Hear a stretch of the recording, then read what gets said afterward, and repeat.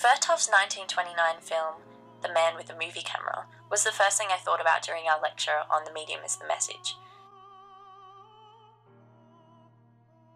It is a celebration of the camera as a fundamental, functional item in society, focusing not on what it films or captures, but the fact that it can capture, that it is an important invention or extension of ourselves and our capabilities. The film portrays a series of images of everyday life. It doesn't show anything extraordinary, but it's presenting the camera itself and its capabilities. This film is ironic because the film is simultaneously a product or content of the medium that it is captured by, and it is also a documentary of the camera as the message.